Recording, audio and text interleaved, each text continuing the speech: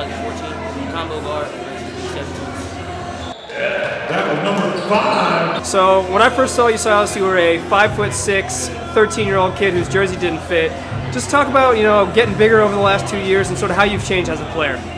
Yeah, I grew like six inches about last summer after the winter. And you know, I've been working out with Donnie Wilcher, trying to improve my game in all areas of the ball.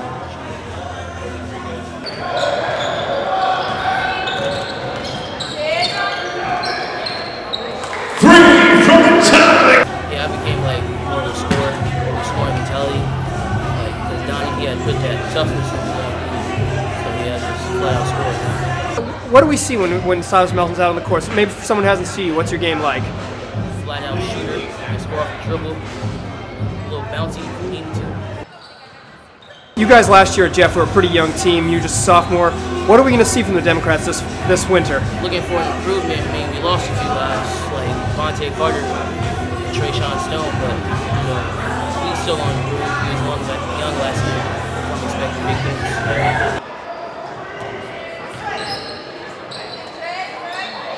the long two.